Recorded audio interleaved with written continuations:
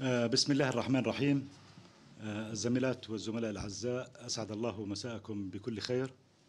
نرحب بكم في هذا المؤتمر الصحفي الذي سنخصصه للحديث عن تطورات الحالة الوبائية وفتح القطاعات. كما لاحظتم خلال الأيام الثلاثة الماضية شهدنا تزايدا في نسب الفحوصات الإيجابية ارتفعت النسبة من 3.8% تقريبا إلى أكثر من 5.5% هذا اليوم. أيضا نلاحظ أن العديد من دول الإقليم والعالم بدأت تتزايد فيها نسب الإصابات وهذا ما يدعونا للحذر. هذه التطورات تأتي بالتزامن مع استمرارنا بتنفيذ الخطة الآمنة والمتدرجة لفتح القطاعات التي بدأناها منتصف الشهر الحالي على ثلاث مراحل والتي ستبدأ المرحلة الثانية منها غدا الاثنين. كذلك الحال ستبدأ الأسبوع المقبل السابع من شباط العودة التدريجية لدوام طلبة المدارس. هذا الأمر يتطلب منا أعلى درجات الحذر والحرص فالاستمرار بفتح القطاعات لا بد أن وأن يرافقه مستوى التزام أكبر بإجراءات الوقاية. ارتداء الكمامات والتباعد الجسدي وعدم إقامة التجمعات والتعقيم إلى جانب تلقي المطعوم هي السبيل الوحيد لتفادي أي انتكاسة لا قدر الله وضمان استمرار السيطرة على الحالة الوبائية. بالتزامن مع ذلك ستعمل الجهات الرقابية على تكثيف الرقابة وزيادة جهود الفرق التفتيشية لضمان الالتزام وضبط أي مخالفات للأفراد والمنشآت. كما أسلفت غدا الأول من شباط يبدأ تنفيذ المرحلة الثانية من خطة فتح القطاعات. اليوم أصدر دولة رئيس الوزراء الدكتور بشر الخصاونة البلاغ رقم 21 لسنة 2021 استنادا لأحكام أمر الدفاع رقم 19 لسنة 2020 ينص البلاغ على فتح مراكز اللياقة البدنية والمسابح العامة بما فيها تلك الموجودة في المنشآت الفندقية والمجمعات السكنية والسياحية ويسمح لها بالعمل في الأوقات المحددة لذلك.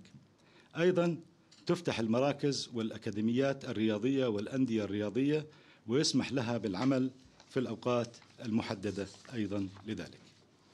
يلزم البلاغ كذلك المنشآت بإحكام أوامر الدفاع والبلاغات والتعليمات المتعلقة بالسلامة العامة وبروتوكولات إجراءات العمل والتدابير الوقائية التي تقررها وزارة العمل وتعتمدها وزارة الصحة وينص كذلك عن أن على أن تبدأ المنشأة بالعمل بعد استكمال الإجراءات المطلوبة وتوقيع التعهد اللازم لذلك. وأكد مجددا هنا أن استمرار الحكومة بإجراءات الفتح الآمن والمتدرج للقطاعات يعتمد بشكل رئيس على الحالة الوبائية. ومدى الالتزام بإجراءات الوقاية. هذه الإجراءات تتم مراجعتها بشكل دوري وتحديدا كل أسبوعين ونأمل أن لا نضطر للتراجع عن أي إجراء نتخذه حاليا. الالتزام ليس ترفا بل مسؤولية جماعية من أجل حماية أنفسنا وأهلنا ومجتمعنا وهو واجب وطني وإنساني علينا جميعا أن نتحلى به. الالتزام كان له أثر كبير فيما مضى بانخفاض مستوى الإصابات والوفيات ونأمل أن يستمر حتى لا نتعرض لأي انتكاسة لا قدر الله. أشكركم جميعا وأترك الحديث لمعالي وزير الصحة فليتفضل مشكورا.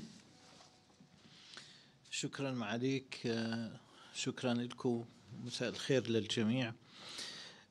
كما تعلم قبل عدة أسابيع تم التخفيف من بعض الإجراءات والتقييدات وهذا كان يتعلق بتخفيف عدد ساعات الحظر الليلي.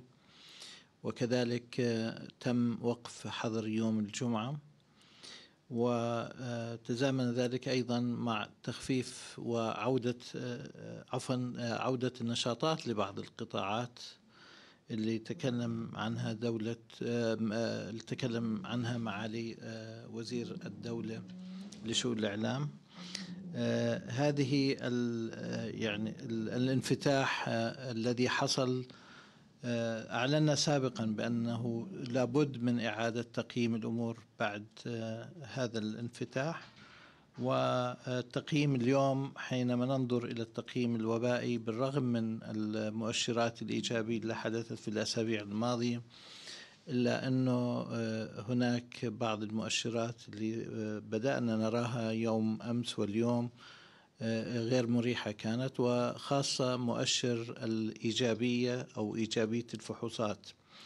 اليوم بلغت نسبة إيجابية الفحوصات خمسة خمسة بالمية هاي النسبة زادت عن يوم أمس وعن اليوم الأيام القليلة الماضية.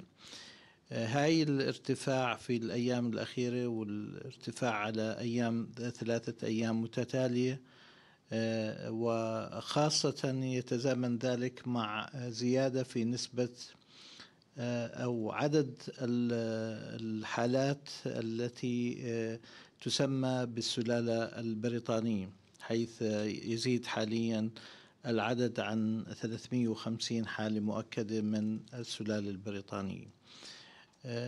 ونلحظ أن الزيادة آه، في عدد الحالات وخاصة من السلالة البريطانية موجود أكثر في منطقة عمان الغربية. ومنطقة عمان بشكل عام. آه، آه، نتمنى أن لا نرى هذا هذه الزيادة في عدد إصابات الإيجابية آه، في الأيام القادمة لكن آه، علينا أن نكون حذرين من هذه الزيادة خاصة الزيادة في عدد الإصابات بشكل عام في مدينة عمان آه، يعني كان ونسبة الإيجابية بالمناسبة في مدينة عمان بالذات كانت في ازدياد ولو كان بسيط لكنه كان ازدياد مستمر في الخمسة أيام الماضية هذا مؤشر آخر آه، يبين لنا آه، أنه آه، ربما مدينة عمان وبائيا أصبحت في وضع ليس مريح كما كانت في الأسابيع الماضية. كل ذلك وبالتزامن مع هذا الانفتاح ومعالي وزير الدولة شؤون الإعلام اليوم تكلم عن فتح لقطاعات جديدة. آه، هذا بالتأكيد مع هذه التغييرات في المنحنى والمؤشرات الوبائية. آه، آه، يجعل منا أن نقف وخاصة عند هذه النقطة وخاصة أنه نسبة الالتزام بصراحة بما يتعلق بالالتزام بوسائل الوقاية من ارتداء الكمامات والتباعد الاجتماعي لم يكن بالمستوى المطلوب. الالتزام بالمنشآت التي تم فتحها آه، آه، من مطاعم وأسواق تجارية أيضا لم يكن بالمستوى المطلوب. آه، هذا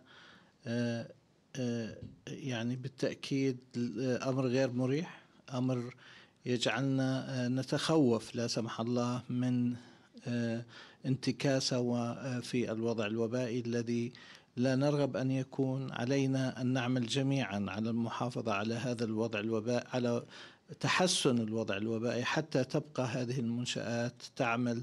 آه، نحن حريصون آه، حتى ونحن نتكلم عن الجانب الصحي آه، حريصون على أن تبقى أن يبقى النشاط الاقتصادي والنشاط الاجتماعي والمنشآت تعمل. لكن لا سمح الله إذا آه، أصبح هناك انتكاسة في الوضع الوبائي. هذا آه، يحتم علينا تقييم الأمور مرة أخرى وإعادة النظر حتى في آه، هاي المنشآت اللي اللي تم إعادة النشاط لها وربما يكون هناك إجراءات لا نحبذها جميعا.